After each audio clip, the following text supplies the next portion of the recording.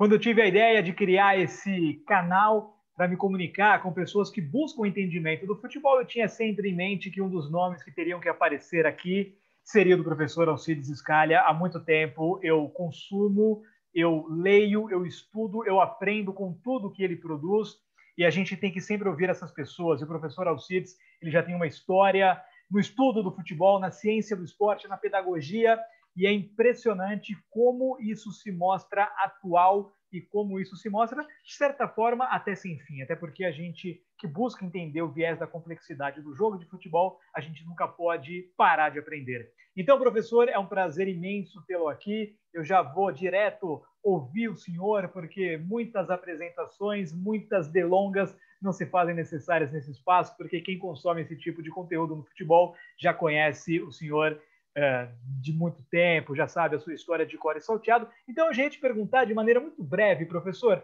essa sua história, desde quando o senhor está nesse ramo, o que te motivou a buscar esses estudos, essas teorias que tanto fazem bem para nós que queremos entender tudo que é complexo envolvendo futebol. Enfim, professor, é um prazer imenso tê-lo aqui. Obrigado por ter aberto esse espaço na sua agenda para bater um papo conosco, professor.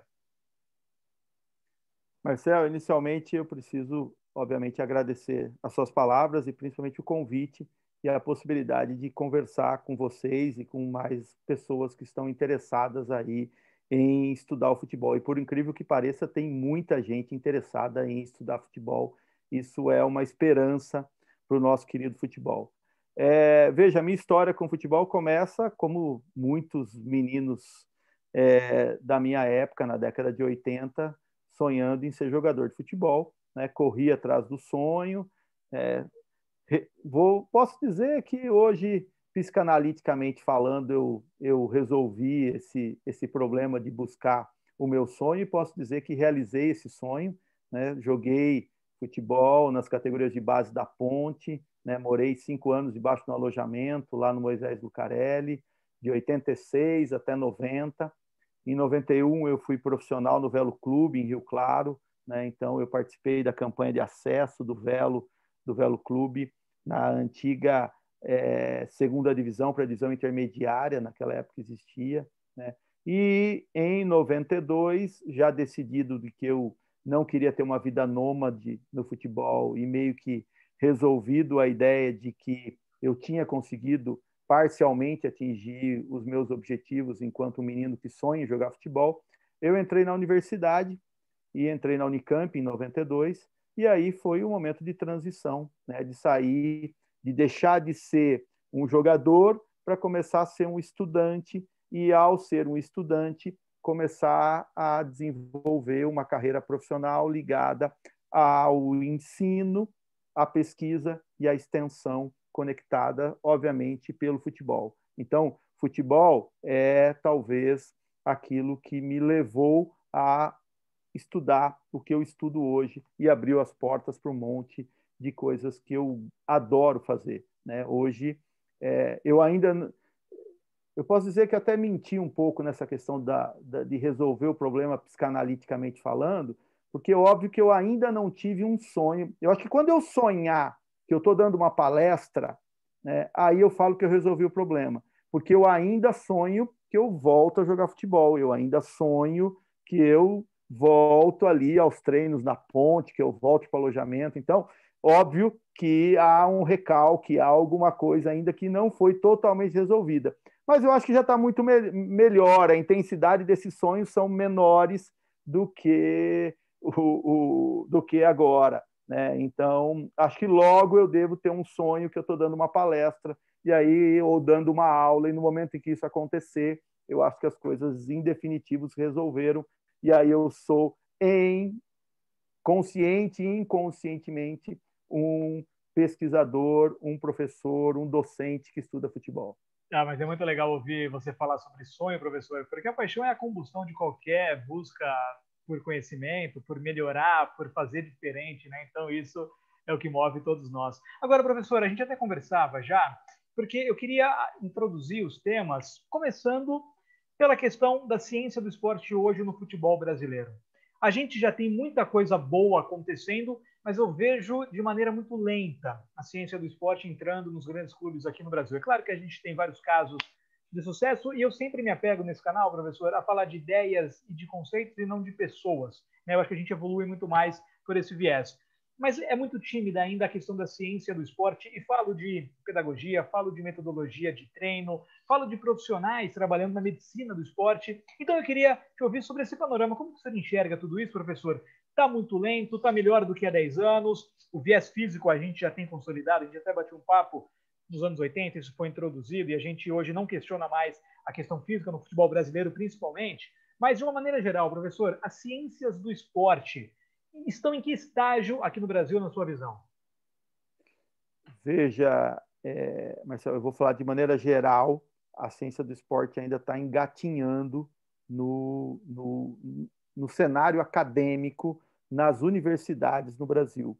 É, Para você ter uma ideia, nós temos três cursos, né? na verdade, dois cursos agora, apenas, onde você pode entrar especificamente para estudar esporte, né? especificamente para ter como tema do seu estudo o esporte, envolto, obviamente, pelas ciências do esporte. Né? Antes a gente tinha a UEL, mas a UEL fechou o curso, né? acho que não vem ao caso a gente entrar nas questões políticas do, do, do, do motivo desse fechamento, né? mas nós temos o, o, o clássico curso da USP, de 92, que, que inicia-se no ano de 1992, ou seja, é um curso consolidado, e, e é interessante você ver que é, ele já traz um impacto, né? você tem muitos treinadores hoje que já estão conseguindo chegar a um certo nível de, de excelência, que são oriundos desse curso da, da, da USP, né, desse curso de 92. Né, nós temos dirigentes esportivos que são oriundos desse curso de, de, de da USP. É, e nós temos recentemente a Unicamp entrando nessa, nesse cenário com a criação do curso de ciência do esporte. Né? O curso de ciência do esporte da Unicamp é muito novo, né? é um curso que tem a primeira turma em 2009.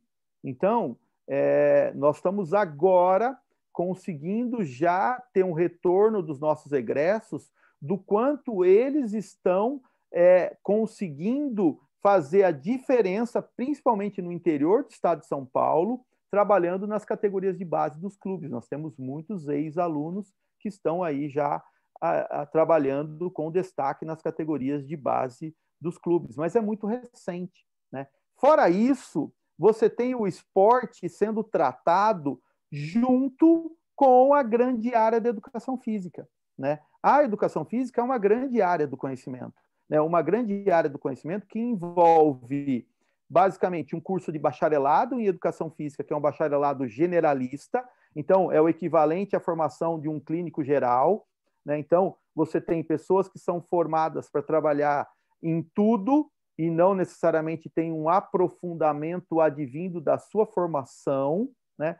E você tem os cursos de licenciatura em educação física, que tem um enfoque, e agora, principalmente depois de 2003, com as mudanças das políticas é, educacionais, muito, muito focado é, para, a educação, para as aulas de educação física escolar. Né? Então, é, o esporte, quando ele briga ou ele tem que encontrar espaço nos é, currículos dos cursos de bacharelado em, em, educação física, ele divide muito espaço com o fitness, ele divide muito espaço com o, o, o lazer, ele divide muito espaço com outras áreas que precisam ser desenvolvidas na grande área da educação física.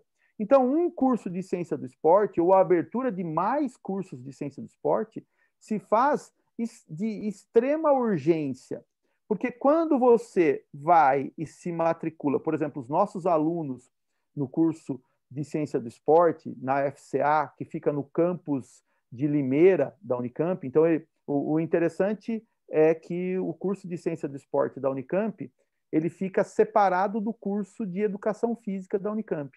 O curso de Educação Física da Unicamp fica em Barão Geraldo. Lá tem dois cursos, licenciatura e bacharelado. O curso de Ciência do Esporte fica no campus de Limeira, onde nós temos o curso de ciência do esporte alocado dentro de uma faculdade de ciências aplicadas. E olha que interessante, é, Marcel, a gente falava da importância da interdisciplinaridade, do pensamento diferente. A FCA ela é concebida exatamente para trabalhar com o grande tema da interdisciplinaridade. Então, lá nós temos seis cursos que são organizados para serem desenvolvidos de forma é, com muita interrelação, com muitas disciplinas em comum, com áreas que são totalmente conectadas. Então, você tem um curso de ciência do esporte, um curso de nutrição, um curso de engenharia de manufatura, um curso de engenharia de produção, um curso de administração e um curso de administração pública. Então, imagina a possibilidade de formação mais ampliada de uma pessoa que faz uma faculdade, que faz um curso nessa faculdade, que tem a possibilidade, então, de buscar complementação na sua formação em outras áreas, ou criar, por exemplo, projetos que permitam, e eu tenho desenvolvido alguns projetos dessa natureza, com colegas da área das ciências exatas, por exemplo, para discutir análise de jogo, com colegas da área da filosofia e da sociologia, para discutir as questões pedagógicas totalmente imbricadas com as ciências humanas. Então, é um campo muito fértil para o crescimento do curso de ciência do esporte. Mas, fora isso, falando de maneira específica, o curso ele é totalmente voltado e todas as disciplinas são voltadas para discutir um objeto de estudo, que é o esporte. E o esporte a partir da sua, dos seus contextos. Então, para você ter uma ideia, disciplinas conectadas, o curso tem. Eu fui coordenador do curso no, logo no, na sua, no seu início, eu estou lá desde a primeira turma, né? então faz 11 anos que eu estou no, no curso e fui o seu primeiro coordenador. Então, eu construí a base do projeto pedagógico do curso. Qual foi a base do projeto pedagógico do curso? Tem um núcleo comum, que vai ao encontro disso que eu acabei de falar para você, dessa interação entre as várias áreas. E aí, pensa numa árvore que tem um tronco comum, e daí ela ramifica para dois grandes galhos robustos. Um ligado à área do esporte na perspectiva biológica, e outro ligado à área do esporte na perspectiva pedagógica. Então, você tem uma série aí, quando esses dois troncos se ramificam em muitos galhos, que em alguns momentos se conectam lá na, na frente, lá em, é, no andar do curso, mostra que a quantidade de disciplinas que discute pedagogia do esporte é muito grande. Nós temos, por exemplo, no currículo, cerca de 8 a 10 disciplinas de núcleo comum, ou seja, para todos os alunos, para discutir pedagogia, né? para discutir metodologia de, de, de treino e uma, um leque, numa mesma quantidade de disciplinas que vão cuidar da parte mais da avaliação física, do, do, treinamento físico e de todas as outras, da fisiologia, da biologia, da bioquímica, todas ligadas a essa perspectiva mais biológica. Então, veja como essa quantidade de foco de formação para o esporte não tem espaço num curso de bacharelado, porque não dá tempo. Ele não pode ter todas as disciplinas, porque ele não, senão ele não consegue se formar enquanto um especialista. Por isso que o curso de ciência do esporte, é diferente de um clínico geral, forma uma pessoa mais especialista na área de esporte. Não é um especialista total, mas é um clínico que trabalha de maneira mais específica com, com o esporte. Então, por isso é tão urgente, por isso é tão necessário, e por isso que eu digo que nós estamos engatinhando, porque nós temos dois cursos que têm essa possibilidade de dar uma formação muito intensa para os seus alunos no que diz respeito ao esporte. Nos outros cursos, não quer dizer que eles sejam ruins, mas depende mais do aluno querer buscar um, uma formação no esporte, tentar encontrar no seu curso é, alguns professores e algumas disciplinas no qual ele pode se empenhar mais do que, por exemplo, num curso de esporte, onde ele vai ser é, totalmente impactado por várias reflexões no campo do esporte. Ô, professor, e essa sua fala é muito rica, né? E eu trago muito para o nosso futebol. A realidade do futebol brasileiro, ela ainda existe uma cultura por trás que inconscientemente é contra o estudo. Para ser bem claro e direto, o viés político que domina os clubes aqui no Brasil são contra esse viés, ele é contra a mudança. E as pessoas que buscam conhecimento, eu falo por mim porque eu, na minha área de atuação no jornalismo, eu busco entender mais os porquês do jogo. E vejo pessoas também em várias áreas, em vários players dessa indústria do futebol também buscando isso, mas ainda em grandes clubes há uma resistência. E eu vou engatar em outro tema com base nisso, professor. Eu queria muito te ouvir. O senhor falou também de metodologia de treino e pedagogia. O senhor tem N publicações nesse sentido, pedagogia da rua, que hoje mudou do que era 20, 30, 40 anos atrás no nosso Brasil, também por vários fatores. Mas como que é isso, professor? O senhor também enxerga que a gente tem uma resistência de metodologia de treino, de pedagogia, há um gap nos nossos profissionais? E aqui eu quero falar de alto nível, tá? Eu quero falar de séries A e B do Campeonato Brasileiro, que são, teoricamente, os 40 melhores profissionais do nosso futebol. A gente ainda tem esse gap, professor, é do nosso sistema, é da nossa cultura, ainda se treina de qualquer jeito, se dá pouquíssimo valor para o treino, professor. Aqui eu acompanho muito treino de clube, eu acompanhava no período pré-pandemia, que agora não está podendo. E se aceita treinar de qualquer jeito, se a treina, se se aceita dar migué, o jogador dá pouco valor, né? Ou então, se ele tem uma semana cheia de treino, ele segunda, terça e quarta treina mais ou menos, quinta e sexta ele treina um pouco mais intenso, porque sabe que sábado vai ter 10 mil pessoas no estádio mais ou menos assim. O senhor enxerga também esse gap, professor, e falta pedagogia aos nossos profissionais? Ainda vai muito na base da aleatoriedade? O cara faz porque ele acha que é assim, sem uma pedagogia por trás? Não tenho dúvida, Marcel, você está coberto de razão. Né? Você não fala com intuição, você fala com conhecimento. Né? Não é simplesmente um achismo. Você traz evidências que comprovam essa, essa fala. E não tenho dúvida que a base disso tudo, e a gente já conversou uma oportunidade sobre isso, é muito ligada a um, um inconsciente coletivo e, para alguns, consciente, que é ainda se, é, se pautar numa epistemologia inatista, ou seja, numa teoria do conhecimento que se pauta na lógica do dom, né? quer seja um dom divino, quer seja um, um, um dom genético. E esse dom é exatamente aquele que destrói o treino, né? que é exatamente aquele que fala que ah, não precisa treinar, porque na hora que eu precisar, vai emergir de dentro de mim a resposta que eu tanto preciso para resolver o problema. E se isso está na sociedade como um todo, porque isso não é um problema do futebol, é um problema da nossa sociedade. Nós estamos vivendo um negacionismo exatamente porque a sociedade não consegue enxergar a escola como um meio de ascensão social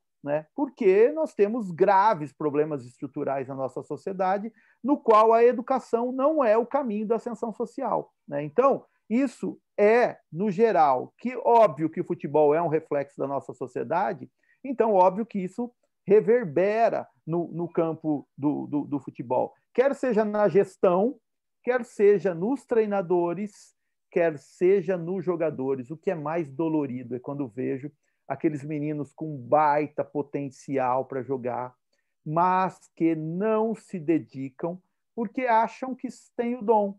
Né? E aí, quando tem as oportunidades, vão, não vão conseguir atingir aquilo que até eles poderiam atingir. Por quê? Porque perderam as janelas de oportunidade, porque perderam os momentos, porque perderam a possibilidade de, de, de aproveitar o momento. Né? E aí eles.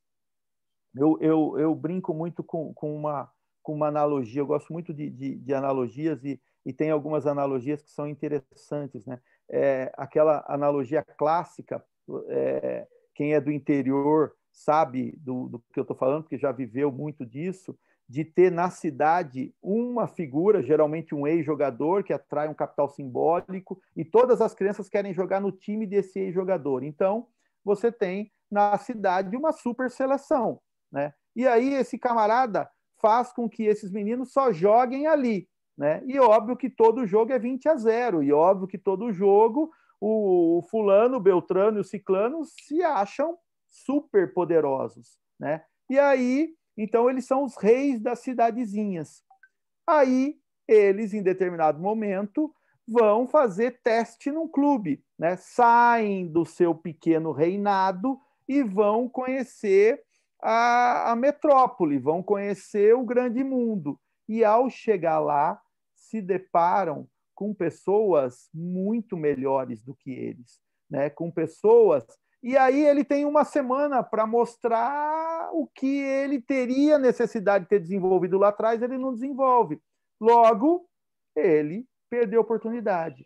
E, e isso não é só uma oportunidade no campo do futebol, porque junto disso vai um monte de outras coisas. Se eu tenho dom, se eu sou bom jogador, eu não preciso estudar, eu não preciso fazer mais nada, porque eu vou ser o craque, eu vou ganhar muito dinheiro, eu vou ser como todo aquele sonho idílico infantil, achando que você vai ser um grande astro e não vai precisar fazer mais nada. Né? Então se vende essa ilusão. E isso é muito perigoso, isso é, é, é, é criminoso, para não usar outro termo.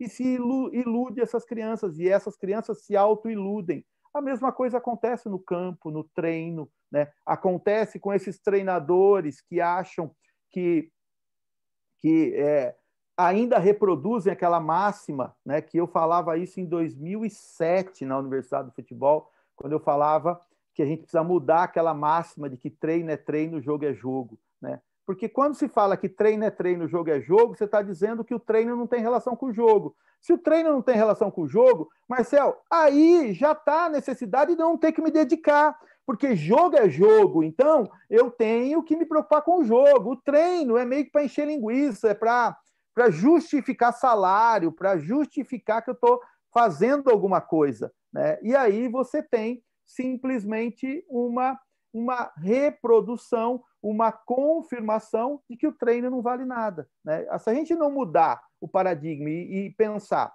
que treino é jogo e jogo é treino, a gente não vai conseguir alcançar e superar o gap que todo mundo, isso é escancarado. É, só, é óbvio que nós temos muito negacionistas no nosso país, talvez um terço do nosso país seja negacionista, seja cego totalmente, que não vai conseguir enxergar que o nosso futebol está anos-luz atrasado em relação ao futebol é, produzido, por exemplo, num centro como a Europa. Estou dizendo num centro, porque outros centros do mundo também estão desenvolvendo um futebol melhor que o futebol nacional, né? E a, as pessoas não percebem porque elas olham a seleção brasileira, olham os resultados da seleção brasileira, que não são é, ainda, continuam sendo os melhores, mas não são os piores. Mas por quê? Porque esses jogadores estão jogando lá fora, né? não estão jogando aqui dentro. Eles não representam o, o, o, o estágio do futebol brasileiro. Né? Então, você tem aí simplesmente a manutenção dessa ideia, onde se tem aí esse gap violento. Né? É muito triste isso, é muito triste. Não, professor, e, e essa sua fala também ela, ela, é incrível, porque a seleção brasileira não representa o futebol brasileiro, são duas coisas completamente diferentes e independentes. E, e é um problema, isso que o senhor citou, com muita propriedade, estrutural, sistêmico, cultural, porque esse mesmo jogador, esse mesmo, que aqui no Brasil dá o migué ou treina de qualquer jeito, esse cara na Europa se comporta diferente, porque ali o sistema é outro, a cobrança é outra, né? Para falar de maneira bem prática, ele dança conforme a música, né? Ali não tem como dar o migué, porque o jogo vai, vai, vai, vai ter um viés de, de cobrança diferente, o treino é diferente. Aí as máscaras caem, Marcel. Aí ele vai mostrar se ele realmente é um jogador. Sim. Não, é isso. E aí, professor, eu vou, eu vou entrar num outro, num outro conceito que o senhor fala muito bem, e quando eu aprendi também isso aí, é, através da Universidade do Futebol, do senhor, dos seus artigos, isso também mudou completamente a minha maneira de enxergar o treino e o jogo, que é o conceito do estado de jogo. Né? Então, o senhor, melhor do que ninguém pode falar, mas é aquilo que quando o cara entra, é, ele esquece de todo o resto e entra num estado eu estudei muito também psicologia positiva, é o estado de flow, né, professor? Que a gente pode passar horas fazendo alguma coisa que a gente não vê o tempo passar. Né? A gente não sente fome, não sente calor, frio, não vai ao banheiro, porque a gente entra numa conexão ali com o todo que a gente esquece de tudo mais. De todo o resto não há distração. Como que é então, professor? Aonde que o senhor foi beber de fontes para chegar nesse estado de jogo? Como que o senhor definiria isso? Claro, com palavras talvez mais complexas do que as minhas, mas enfim, eu sou uma pessoa que busca conhecimento, mas eu acho que a fonte do senhor ela é totalmente mais ampla do que a minha, então eu queria também ouvi-lo sobre estado de jogo, professor, por favor. Ótimo, ótima, ótima pergunta. Eu gosto muito de falar sobre isso, mas eu acho interessante a gente entender como e onde se localiza essa ideia de estado de jogo, como você bem disse, para mostrar esse pensamento radical, ou seja, as raízes que mostram como que a gente chega a, a esse conceito de estado de jogo. Né? Primeiro, é preciso entender que talvez o meu grande tema de pesquisa, o, aquilo que eu mais estudo, são as, metod... as questões didático-metodológicas, né? as questões didático-metodológicas do ensino e do treino. Né? Então, quando a gente pensa nessas questões didático-metodológicas, a gente precisa entender que elas se localizam na. A gente estava falando que a educação física é uma grande área, certo, Marcelo? Então, se a educação física é uma grande área, uma das sub-áreas da educação física é a pedagogia do esporte. Então, a pedagogia do esporte é a sub-área da educação física que vai se preocupar em estudar os processos de ensino-aprendizagem. Se ela vai se preocupar com os processos de ensino, aprendizagem e treinamento, porque isso é, é, um ponto importante que traz a pedagogia do esporte, é a ideia de que não existe treinamento sem pedagogia. Então, quando a gente fala de treinamento, a gente está falando de pedagogia. Né? Então, e isso é uma coisa que eu gosto de frisar, porque muitas pessoas acham que treinamento é físico e pedagogia é outra coisa. Né? Não vê e, e esse é, é, o grande equívoco. Né? ainda há, né, professor? Um tabu. Exato. Não tem que ter pedagogia no futebol, no treino, né? Poxa, e o treino é um processo totalmente pedagógico. Exato. A construção de uma ideia de jogo ela é totalmente pedagógica.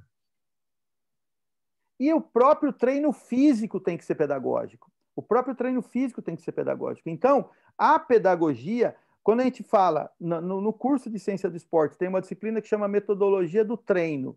E aí a metodologia do treino, você vai ver o conteúdo da disciplina, é simplesmente conteúdo físico, né? Porque por conta daquilo que a gente falou lá na década de 80. O que primeiro chegou foi as teorias do treinamento pelos russos, pelo Matveyev, pelo Verkhochansky, depois pelos americanos que entraram nessa discussão, né? Ou seja, eles trouxeram a ciência para o campo esportivo.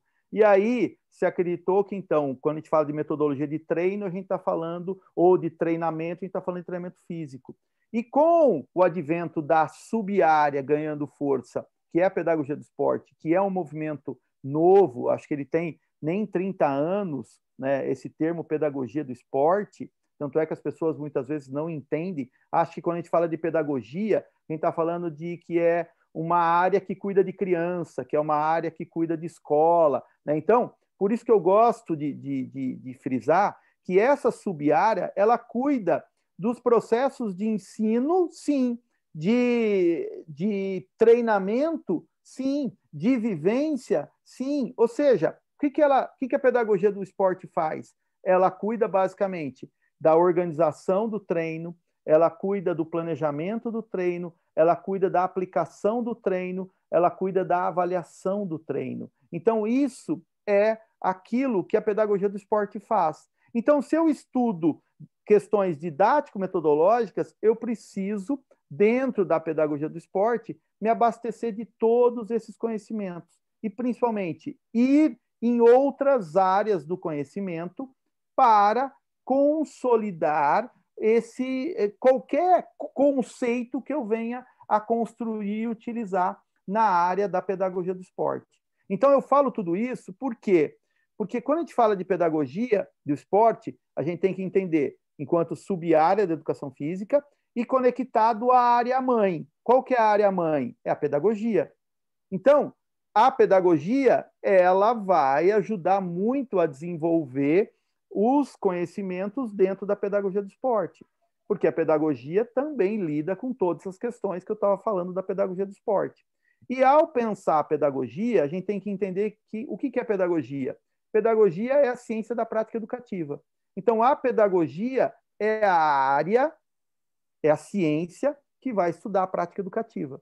E dentro da pedagogia, a gente tem uma grande disciplina que é a didática.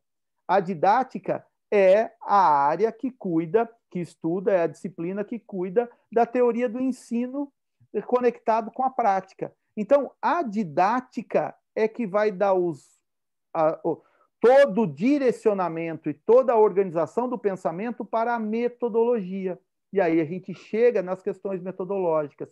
Então, a metodologia é o como, né? É o como ensinar, pautado no quê? Pautado nas diretrizes didáticas, pautado nos objetivos, pautado no estabelecimento do conteúdo, pautado na epistemologia, ou seja, qual é a minha base teórica? Por que, que eu penso desse jeito? Por que, que a minha intencionalidade expressa no treino ela tem determinadas características que estão conectadas, por exemplo, às teorias sistêmicas, ou estão conectadas à lógica mais cognitivista. Hoje, na grande área, na, na sub-área da pedagogia do esporte, principalmente dentro das game-based approach, o que, que seriam isso? As abordagens que valorizam o treino, o processo de ensino por meio do jogo, elas tem diferentes epistemologias que sustentam as abordagens de ensino. Por exemplo, tem uma, um, um grupo que está mais conectado a uma epistemologia ecológica. Outros estão mais conectados a uma epistemologia é, cognitivista. Outras estão mais conectados ainda a uma lógica desenvolvimentista. Outras estão conectadas ainda a um viés um tanto quanto behaviorista, comportamental. Então, nós, veja, você tem diferentes abordagens para sustentar suas intencionalidades que vão reverberar, que vão aparecer na sua metodologia. Então, olha como pensar o treino, a, a, metodologia do treino, a sua metodologia, não é possível simplesmente pegando um livro que está escrito mil e um treinos de futebol ou simplesmente indo lá na arquibancada, vendo o treino do Guardiola, copiando o treino e aplicando o treino. Ou seja, metodologia não é técnica de ensino. Metodologia é uma possibilidade de você organizar todos esses conhecimentos para aplicar, para desenvolver todo esse processo. Então, desse modo, as metodologias, elas dependem dessa abordagem. E essa abordagem, em meio a todas essas, nós estamos a, vamos ser mais preciso no tempo, há cerca de 20 anos desenvolvendo uma abordagem de ensino que nós chamamos de pedagogia do jogo. Então, a pedagogia do jogo é uma abordagem, né, é um modelo de ensino que está pautado por uma epistemologia sistêmica, por uma epistemologia do pensamento complexo, conectado ao paradigma emergente, ligado a, aos princípios da pedagogia não linear. Ou seja, a pedagogia do jogo, ela vai, com toda essa intencionalidade, desenvolver e organizar uma metodologia. E essa organização dessa metodologia ela se pauta em três bases fundamentais. Uma é a inspiração na pedagogia da rua. Outra é o estabelecimento do ambiente de jogo. Outro é o estabelecimento do ambiente de aprendizagem. Então, para isso, para a gente conseguir criar as bases dessa pedagogia do jogo, foi preciso um aprofundamento muito grande sobre para entender o que, que é essa pedagogia da rua, né? o que acontece no futebol de rua, para que a gente entendesse o que é pedagogia da rua. Né? E, óbvio, o professor João Batista Freire, que foi meu orientador desde quando eu entrei na faculdade, ele é o, o, o maior de todos, o, o, o que iniciou toda essa discussão, que nos permite entender a pedagogia da rua, para que, ao entender a pedagogia da rua, a gente pudesse estudar teoria do jogo. Ao estudar a teoria do jogo, nós pudemos tanto entender aquilo que era uma hipótese da pedagogia da rua e transformar uma hipótese numa tese, quanto a possibilidade de entender o que é um ambiente de jogo. E as teorias pedagógicas conectadas à didática, à metodologia, permite a gente compreender o que é ambiente de aprendizagem, ou seja, como que o treinador é responsável por ensinar alguma coisa. Então, Marcelo, todo, tudo isso que eu falei até agora mostra um pouco como que a gente pode falar agora de estado de jogo. Porque o que é o estado de jogo? Estado de jogo advém exatamente do momento em que nós nos aprofundamos no entendimento do que é jogo, ao estudar a teoria do jogo, né, ao estudar a fundo a teoria do jogo, a partir de muitos pesquisadores, estudiosos, né, de diferentes áreas do conhecimento, quer seja da sociologia, quer seja da antropologia, quer seja da filosofia, quer seja da história, quer seja da própria pedagogia, quer seja de outras áreas, como a área das ciências exatas, que tem estudos sobre teoria do jogo que são muito interessantes, como, por exemplo, a do John Nash, que você já deve ter visto naquele filme Uma Mente Brilhante. Ou seja, tu, todas essas áreas estudaram o jogo. E a gente tem um problema na educação física que a gente usa e abusa do jogo e a gente não estuda o jogo. Então, nós fomos estudar o jogo, né?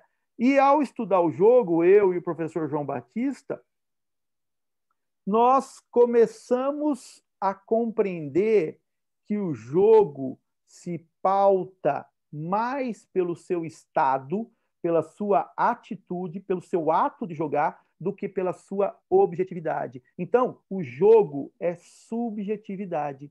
Então, eu tenho que, se eu quero entender o que é um ambiente de jogo, se eu quero aplicar uma pedagogia do jogo, eu tenho que entender que esse jogo é uma subjetividade. Então, o que é jogo? Jogo é o que o João Batista Freire diz: é tudo aquilo que a minha sensibilidade disser que é jogo, é tudo aquilo que eu senti como jogo. E o que, é esse sentir? Esse sentir é o ato de jogar. E o que, que é esse ato de jogar? É o estado de jogo. Né? O estado de jogo marca esse ato de jogar. Ou seja, o estado de jogo é a entrega do jogador ao jogo. Mas é uma entrega que não é uma entrega alienante, não é uma entrega por entrega, não é uma entrega enquanto fuga.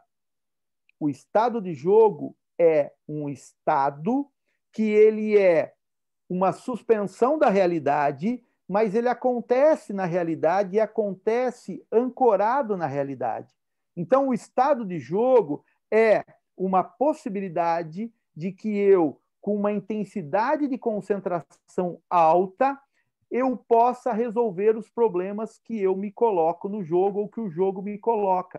Então, estar em estado de jogo é, ao mesmo tempo em que eu jogo o jogo, eu sou jogado pelo jogo. E aí a gente volta àquela discussão dos paradoxos, dos paradoxos da complexidade. Né? Então, ao mesmo tempo que eu jogo, eu sou jogado pelo jogo. Ao mesmo tempo que, que eu afeto o jogo, eu sou afetado pelo jogo ao mesmo tempo em que eu trago as minhas vontades para o jogo, eu sou confrontado com aquilo que o jogo me coloca, que advém da vontade dos outros. Então, eu sou, ao mesmo tempo, ser do jogo, aquele que tem poder no jogo, mas eu, e aí essa metáfora do professor João Batista é brilhante, né? Eu sou o ser do jogo que entra no embate com o senhor do jogo. O senhor do jogo é que traz o caráter imprevisível do jogo. Então, o estado de jogo só é possível no momento em que eu vivo o quê?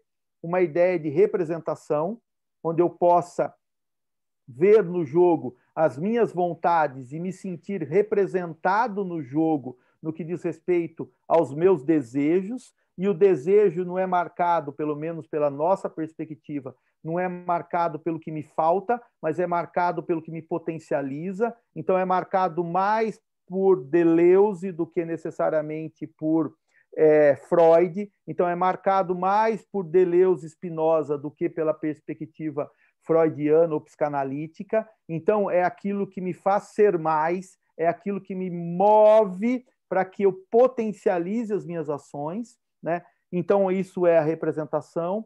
A outra perspectiva é exatamente a da imprevisibilidade. Eu não entro em estado de jogo se eu souber o resultado do jogo, né? Eu não entro em estado de jogo se não tiver desafio.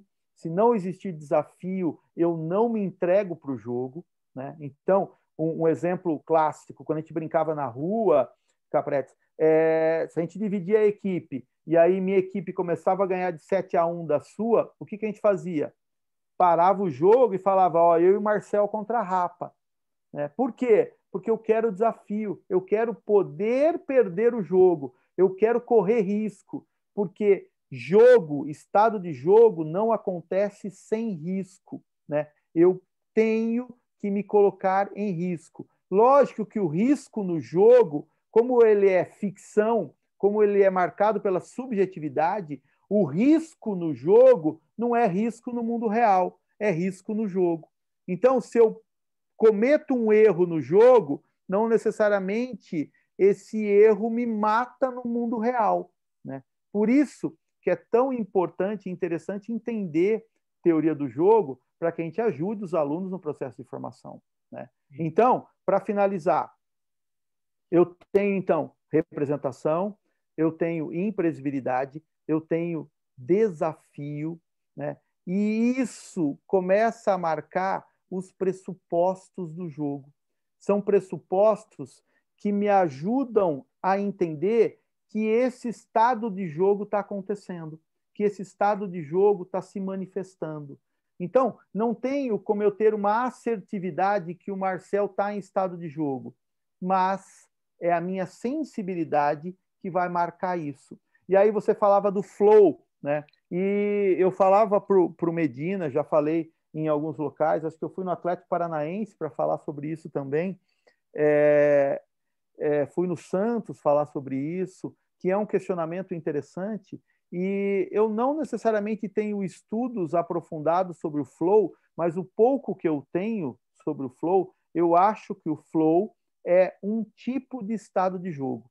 Né? Ele não é sinônimo de estado de jogo. O estado de jogo é maior do que o flow. O flow é um tipo de estado de jogo, é uma, é uma intensidade de concentração muito alta. Então, se a gente colocar que o estado de concentração vai de 0 a 100, né, é, e isso é aquilo que a nossa sensibilidade consegue captar, talvez o flow seja do 100 para frente. É como se fosse o ultravioleta ou o ultrassom. É aquilo que a gente não consegue captar, porque é algo que está muito. Né? É, é, é, uma, é, um, é um nível de concentração próximo àqueles que se apresentam quando você está quase que num transe, quase que você está num nirvana, quase que você está numa condição né, para além daquilo que normalmente se vê.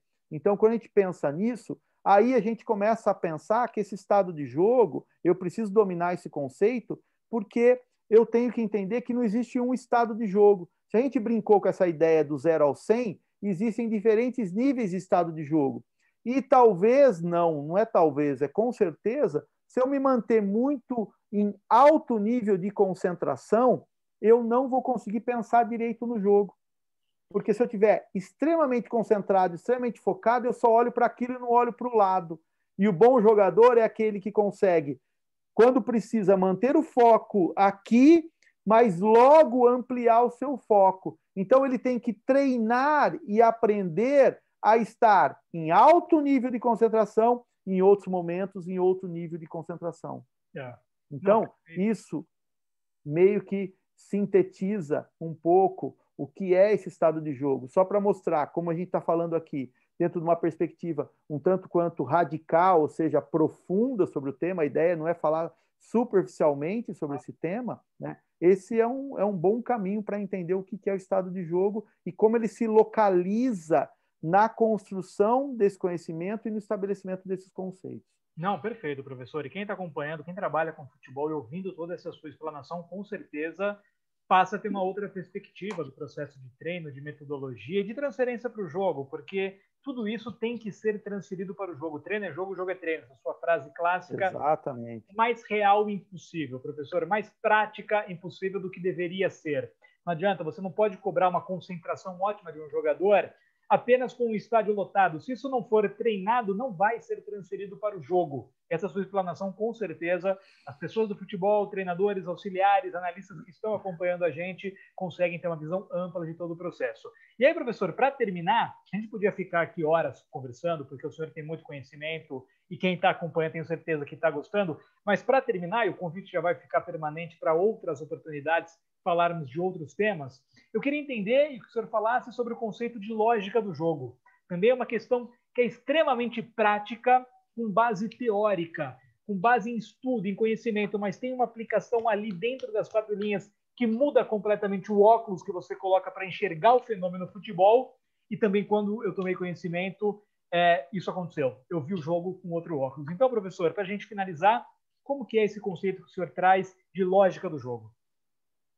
Veja, é interessante, Marcelo, porque você só consegue entender a lógica do jogo se você entende o conceito do processo de organização sistêmico do jogo. Essa foi a, a minha tese, né, aquilo que eu trouxe enquanto modelo para que as pessoas pudessem entender como se dá o processo organizacional sistêmico do jogo. Como que o jogo se organiza? Se eu entendo como o jogo se organiza, eu entendo ou tenho a possibilidade de começar a entender a lógica do jogo. Vamos fazer uma analogia para que isso fique mais inteligível. Pense na questão do impacto ambiental. O que, que é, Marcelo, um relatório de impacto ambiental? Um relatório de impacto ambiental é um relatório que prevê né, os possíveis impactos ambientais se, por exemplo, por hipótese, eu for querer construir uma, uma barragem aqui. Né? Se eu quiser construir uma barragem aqui, vai inundar toda a região, o que, que vai acontecer? Então, quem está construindo o relatório, ele tem que entender o que acontece se esse povo que está aqui nessa cidade sair dessa cidade e for para outra cidade, ele vai causar um excesso de pessoas e vai, e a cidade que está do lado não consegue absorver esse crescimento populacional vertiginoso do dia para a noite e vai gerar problema aqui. Os animais que estão aqui vão sair daqui e vão ser caçados em outros lugares. E aí você vai aumentar a quantidade de uma espécie e vai causar um desequilíbrio naquela espécie. Determinada fauna, determinada flora sofrerá os mesmos impactos. Então, isso é um relatório de impacto ambiental. Antes que a coisa aconteça, eu sei como que a fauna, a flora, o ser humano, eles se interagem, ou seja, como que o meio ambiente convive, qual é a lógica de interação sistêmica entre eles, ou seja, quais são as perspectivas integrativas e autoafirmativas de cada elemento dentro do sistema. Então, a teoria dos sistemas nos permite entender isso. Então, a gente sai agora desse impacto ambiental e vamos olhar o jogo. Vamos olhar o jogo. Vamos olhar o nosso jogo de futebol. Vamos entender quais são as estruturas, o que é flora, flora, fauna, o que são os seres humanos, o que, é o ambiente físico, estrutural, quais são as regras fun funcionais, quais são as regras estruturais, ou seja, nós estamos falando de referências estruturais, referências funcionais, como que isso organiza o processo e como que, as, ao interagir, o que, que emerge dessa interação. E ao interagir, como que essa emergência, aquilo que emergiu do sistema, retroalimenta esse sistema. E aí eu começo, obviamente, a conseguir ter todas as bases para justificar a pedagogia do jogo. Né? Então, a pedagogia do jogo não é simplesmente uma junção de ideias, é simplesmente, ou é muito pautada na lógica da, da, da, desse pensamento complexo, dessa teoria sistêmica. Assim, a gente consegue entender como que o jogo se organiza, qual é essa lógica. E aí tem um ponto, é, Marcelo, que, que eu tenho começado a atacar de forma um pouco mais forte, porque isso tem me incomodado, que é a questão da porque esse conceito de lógica do jogo ele é muito importante para os analistas de desempenho, né? E, a análise de desempenho cresceu muito ultimamente. Isso é importante, né? É, é um profissional que chega para o futebol muito importante. Porém, é um profissional que, se não mudar o óculos, vai ser simplesmente um analista coisificante, um analista que vai simplesmente tratar de número e simplesmente tratar da lógica do jogo como se falam aí, a lógica interna do jogo, achando que todo jogo é pautado nos números, né? E aí ele é simplesmente um analista de desempenho que eu chamo de coisificante, que coisifica as coisas. Quando eu parto da ideia de que a lógica não é uma lógica interna, mas é uma lógica imanente, né, a, trazendo o conceito da filosofia de imanência, de algo que está no concreto, de algo que é o plano imanente, algo que é aquilo que está aqui, aquilo que é em si, que se encerra em si, nós temos que entender que tem um elemento dentro dessa estrutura que impacta decisivamente a lógica e que subverte a lógica a todo momento, e isso é fantástico, e é isso que a gente tem que aprender a fazer, que é formar jogador artista. Né? Tem um aluno de doutorado que está trabalhando exatamente com esse conceito do jogador artista, né?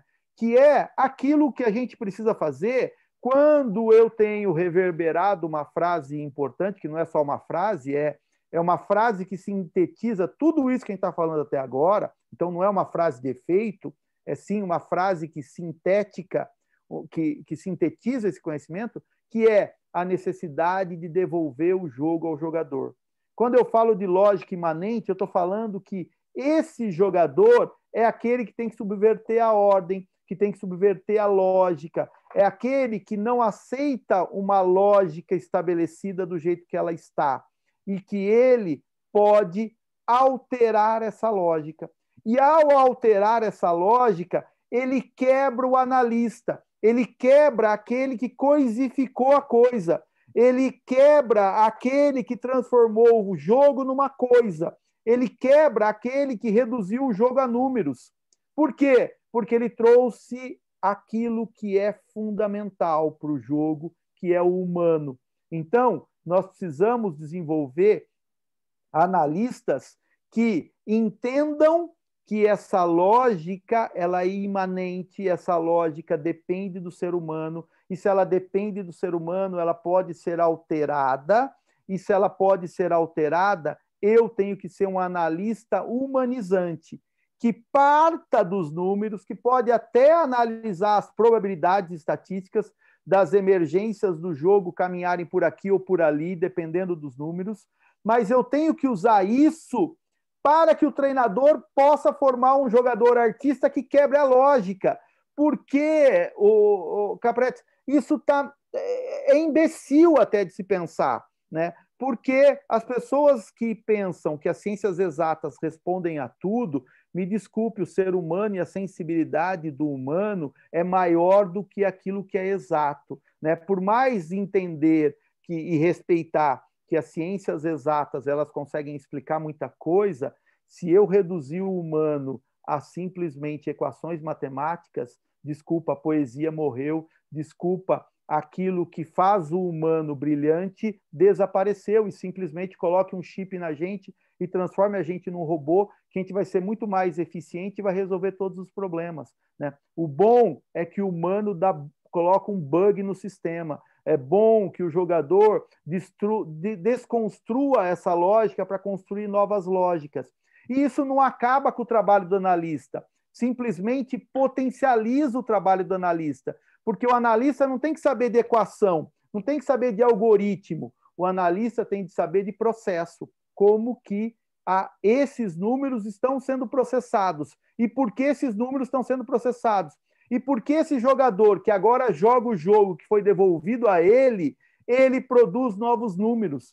E como que eu, analista humanizante, possa falar com o treinador, interagir com o treinador, de modo que esse treinador seja o grande responsável pela formação de novos jogadores artistas, porque o jogo ele é humano, o jogo ele precisa devolver a arte, o jogo precisa devolver aquilo que tem que é mais importante no ser humano, que é o seu devir, que é a sua vontade de ser mais, que é a sua vontade de ser o super-homem numa perspectiva nitiniana eh, que, que é possível de ser vivenciada no mundo do jogo, mais do que no mundo real. E se acontece no mundo do jogo, se ela está ancorada no mundo real, é aí que o jogo é subversivo, é aí que o jogo interfere no mundo real, é aí que nós não somos produtores de alienantes, nós não somos aqueles que simplesmente por trabalharmos com esporte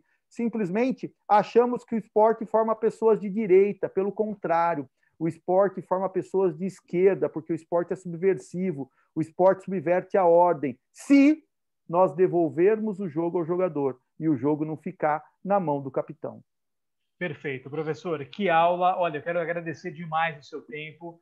Repito, quem ficou até o final com a gente aprendeu e sai desse material, de ter acompanhado essa conversa, melhor.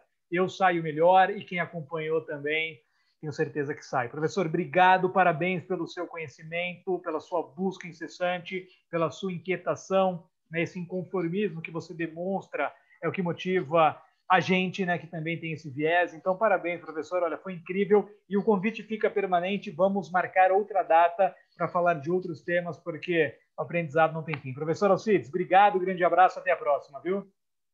Eu que agradeço. Até mais. Abraço.